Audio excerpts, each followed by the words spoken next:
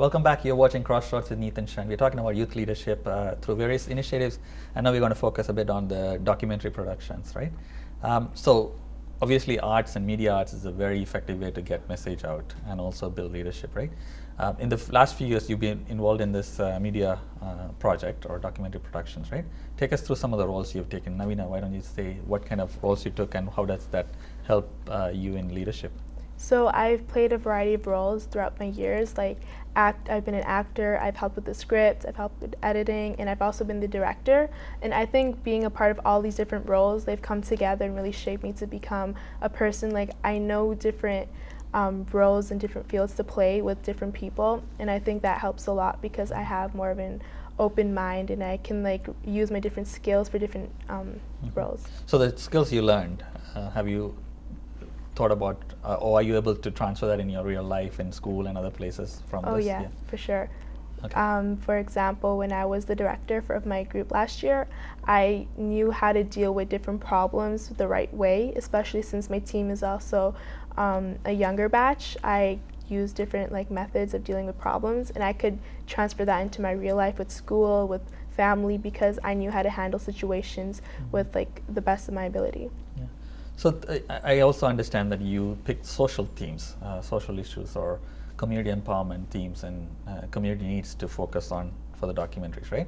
Um, so that's that's a noble thing to do because you're kind of getting a message uh, while you're becoming leaders. You're also trying to help the community to advance. So what some of the themes and how does that uh, fit into the leadership?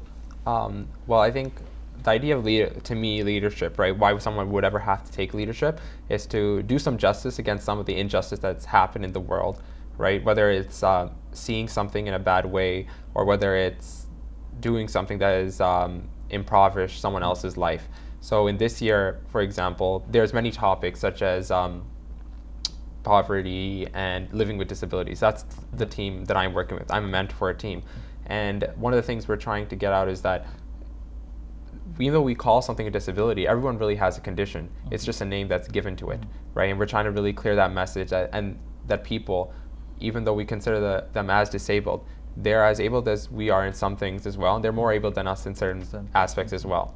And I think it's really good that we're fighting these social aspects because I mean we are coming to a time where we're trying to accept everyone, and the media doesn't focus on this stuff, right? So someone has to, and therefore it's our responsibility to take that role. No, that's that's good. So, uh, what was the thought process? Because uh, documentary production is not easy, Yes. right? And one of the you know, as, as a TV station, we know one one show takes like many many people to kind of Right. get through, right? So, video productions, editing, and all the skills that's necessary. Right. It's a complex thing. Yes. So, how did you decide to do this uh, project, and how how has the community supported with this? Right. So the, the, the project is called YDocs, where this is we have been running for the last three years. So this year is, is going to be uh, it's, it's YDocs 2015. Uh, we have about 100, 100 uh, kids within the age group of 10 to 18 participating. The thought process is about we wanted to teach our kids project management, time management, and, and teamwork. And you can't teach that in a classroom to a 10 to 18 year old. So we have to engage them in an activity. So we thought about that. You know, if, if we challenge them with producing a movie, a short movie, on specific social issues, that that way through that journey they are learning these skills. You know, they can they learn to develop a project, they learn to plan a project, they learn to lead a project, and they, the, the biggest uh, at the benefit of the program is they like Navina said earlier, they learn to deal with uh, issues and how to resolve them as a leader. And that is going to help them for their entire life because there are you know everyone goes through issues every day but if you don't look at them in a, in a constructive way then you are going to run into problem and that's one of the very good uh, benefit that is coming out of this program so so the end product is yes it is a short documentary on social issues but the important part is the journey they are taking to get to that end product And how long are the documentaries approximately, like usually ranging? Yeah, the, the documents range from four to five minutes, Okay. and they have to. We we give the, over the last two years they get to choose their own topic. This year we gave them challenges, about uh, 14 different topics, and they have to look at that uh, look at that topic and and take a concept of that topic and and address it.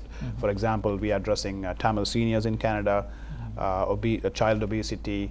Uh, uh, uh, racism is one of the issues and, and uh, cyberbullying. So there, there are different diverse topics are given and they have to. They, we are not expecting them to come up with a solution to it, Yeah. but just address the problem. I mean, and the governments can't Exactly. figure out what to do with some of those things. Exactly, right? So- right, yeah. But at least you know while you're doing that, you're also creating awareness for yourself about those issues, right? Because some of the some of us are not completely exposed Right. while you do the research and so on, right? Yeah. I want to ask you specifically about this because media field has been dominated by men, particularly in the Tamil media industry in many ways, right? So um, we have a good mix of uh, young women involved in the project, and how does that help in future? I'm, I'm thinking that this is also going to help us kind of diversify our media field later in terms of gender Yeah. equity.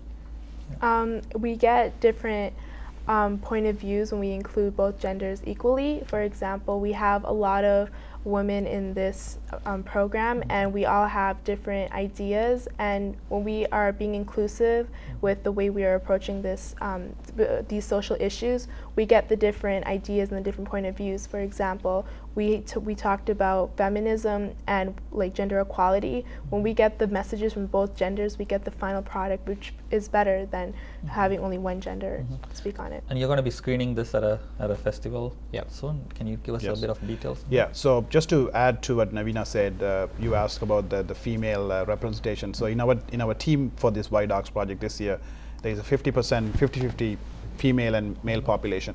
But 70% of our leaders are females this year. Yeah. So that shows that, like you said, Yeah. that that issue is already being resolved. There, there is another, In another future, a popula- wave of, uh, a wave of uh, you know very talented female population going to be going to be you know ruling the media world. Uh, Hope so. You know, we need we need yes, change. we do need. Yeah, we need. We need change. Change is good. Change good, Uh, the the documentary festival is going to happen on July 24th uh, at the Metropolitan Center in Scarborough, and we are going to be screening uh, uh, the, the winning movies. Uh, we, we take the movies through a judging process and we, we give them awards. Mm-hmm. There's going to be 11 categories of awards that will be given. Uh, it's, it's a big event. There's going to be over 500 people going to be attending. Mm-hmm. And this time, uh, the Ontario government, the, the Ministry of uh, Children's Services, they are they are partially sponsoring our program. Oh, great. So that has you know made that turn to for the government to appreciate the program and, and see the value of it too. That, that's great. Yeah. So we're going to um, start talking a bit more about about future, right? So the program is evolving, it's growing. Yes. Um, you know, one of the areas is that um, one of the challenges for us is, you know, our community has grown financially, Mhm. but there are also people who are still living in poverty. There are young people who do not have these opportunities, young people who do not actually be able to afford, or parents cannot afford them to send to any paid programs and things like that, right? So how are we going to take this program further?